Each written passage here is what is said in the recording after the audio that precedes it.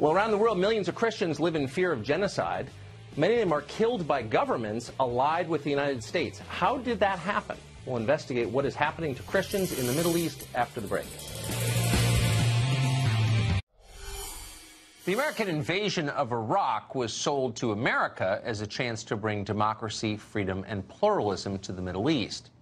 Instead, for Iraq's ancient Christian community, which was large and thriving, it brought death and persecution. Today, Iraq's Christian community is a tiny fraction of what it was in 2003. Nobody ever says it, but it's true. What happened in Iraq is now happening in countries across the region and around the world. A new report warns that in many places, treatment of Christians is approaching the level of genocide. Juliana Taimoorazy is the president of the Iraqi Christian Relief Council and a senior fellow of the Philos Project. She joins us tonight. Thank you very much uh, for coming on tonight. So, give Thank us you, a sense, um, because it's one of those subjects that nobody in this country covers, as you know, of how the Christian community in Iraq is doing 16 years after the invasion. Uh, during 2003, we were one and a half million. Today, the Assyrians, Chaldeans, and Syriacs have been reduced to barely 200,000 people. Many of them are suffering from trauma. Many have lost everything in terms of businesses, their homes, their churches have been destroyed. Uh, and many of them are losing hope because really their own community is unable to protect themselves. They are at the mercy of either the Kurdish regional government or the Iraqi government. And we know, and you know, Tucker, Iranian influence now is skyrocketing throughout the Nineveh Plain, which Yes. is extremely worrisome. So, um, of the many figures in the United States who pushed that war um, haven't said anything that I've seen about the basically the death of the entire Christian community in Iraq. And American churches have also remarkably said virtually nothing about it. Why is that, do you think? We're trying to be politically correct. We're not being bold to stand in the face of this. And frankly, what we have been going through since you've seen since 2003 and 4 is nothing new. Our community in the Middle East, we Christians have faced this for over 14, 1500 years. And I believe, Tucker, what has pushed this more, at least a little bit more, the world is talking about this, is because of uh, the savagery of ISIS was put on display through social media. So social media is really has become a dangerous medium for radicals who want to use it.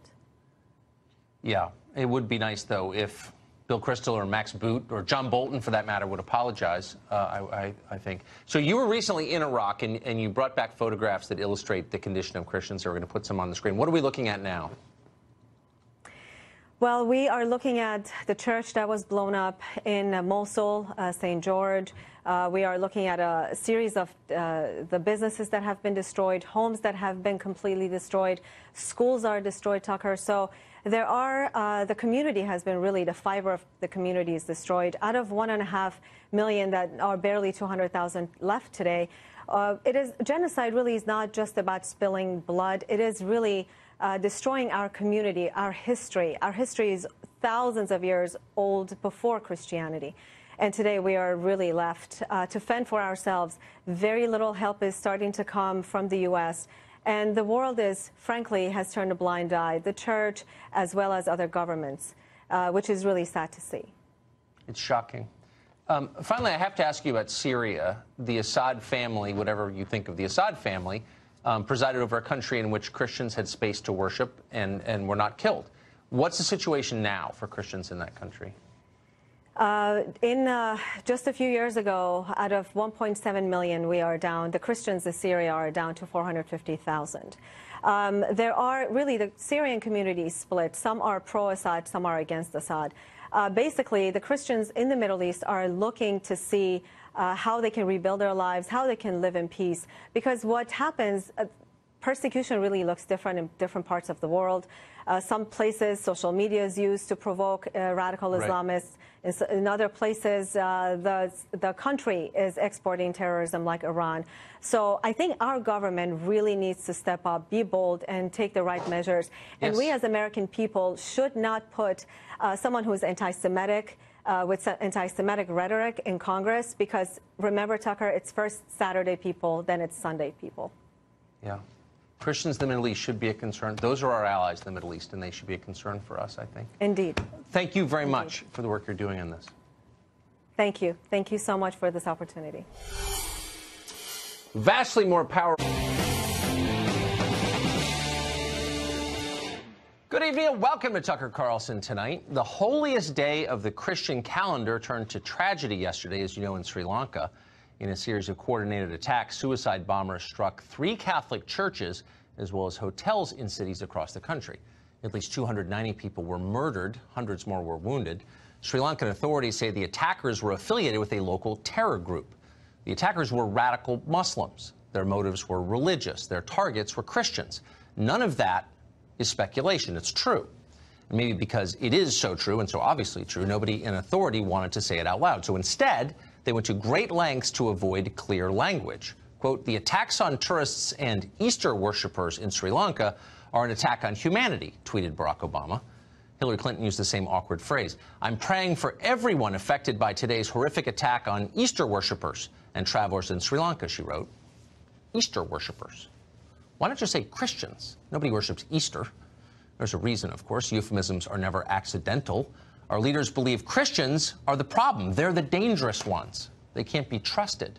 Tell them the truth and they might go crazy and organize a new crusade, unsheath their swords and march on Jerusalem. You never know with Christians. Just tonight, the Washington Post ran a story with this headline, quote, Sri Lanka church bombings stoke far-right anger in West as if you'd have to be some kind of Nazi to be upset about church bombings. That's what they seem to think. That's why our leaders consistently ignore the persecution of Christians around the world. When U.S. policy contributes to that persecution, and it does, they say nothing about it. For example, less than 20 years after we overthrew Saddam Hussein, three quarters of Iraq's once thriving Christian population is gone.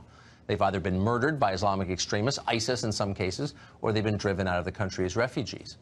In Syria, Christians lived for generations under the protection of the Assad family. You're not allowed to say that anymore or even know it, but it doesn't make it any less true. It is true.